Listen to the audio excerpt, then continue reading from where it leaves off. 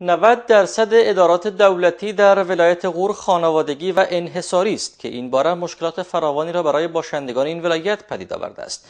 فعالان مدنی در این ولایت می‌گویند با این شرایط جایی برای افراد تحصیل کردن نیست و جوانان بسیاری با مدارک عالی تحصیلی بیکارند. از سوی مسئولان محلی در این ولایت نیز این باره را میپذیرند و مدعیند که اداره محلی در مقابل فساد حاکم در این ولایت خاموش ننشسته است. اداره امور زنان کمیسیون اصلاحات اداری و خدمات ملکی و دادستانی ولایت غور از مهمترین اداراتی هستند که مسئولان آن افرادی را از اعضای خانواده خود در آن استخدام کردند. فعالان مدنی این ولایت مدعیاند که این پدیده مشکلات فراوانی را برای باشندگان ولایت غور به وجود آورده است. یاسین آژند از کنشگران مدنی در ولایت غور می‌گوید رئیس امور زنان این ولایت خواهرش را به حیث مدیر در ادارهش استخدام کرده.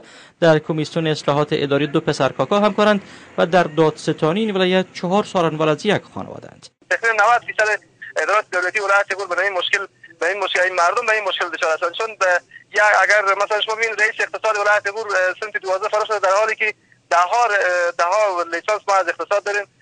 او بعد به اونجا شامل شود متاسفانه خودش به اونجا خود هر کاری که دلش می‌کنه ملزم می‌کنه.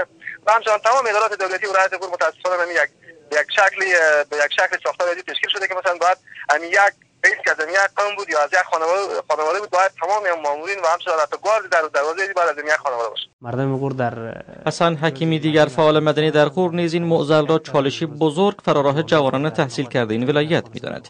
و تاکید دارد که بارها این مشکلات را با مسئولان حکومت مرکزی در میان گذاشتند. اما توجهی برای آوردن اصلاحات در ادارات این ولایت صورت نگرفته است.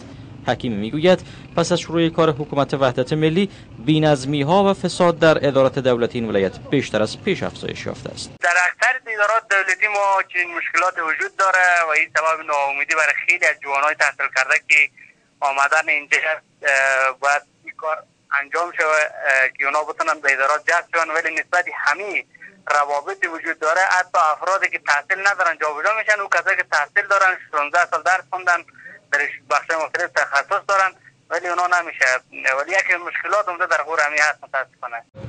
از سوی مسئولان محلی در این ولایت نیز این باره را میپذیرند و از تلاش ها برای آوردن اصلاحات در ادارات سخن می‌زنند عبدالحی خطیبی سخنگوی سرپرست ولایت غور می‌گوید اداره محلی نگران این بار است و همواره تلاش کرده تا با ادارات قانون شکن برخورد کند.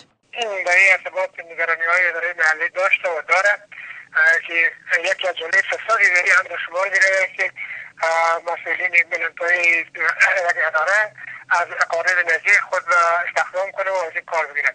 این مسئله جدی بود و در ریاست امور زنا یک موضوع بود و در سر پیگیری اداره محلی سرانجام وظیفه را ترک کرد و مثلا این مسئله وجود نداره. در ریاست زنا مسئله وجود نداره. او از ولایت دورافتاده و مرکزی کشور است که آنچنان در محراق توجه حکومت مرکزی قرار ندارد. آگاهان امور می‌گویند همین بار سبب شده تا فساد در ادارات دولتی غرب اوج خود برسد. و با این آگاهان خانوادگی کردن ادارات نیز نوعی فساد است که فرصت اشتغال از بسیاری جوانان تحصیلی کرده را گرفته است.